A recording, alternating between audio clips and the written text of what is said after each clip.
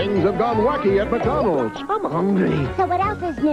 Now in a Happy Meal, you can get one of eight wacky Animaniacs toys that pops up and down or goes round and round. May we take your order, please? Thanks. We're starved. One toy with each Animaniacs Happy Meal you buy.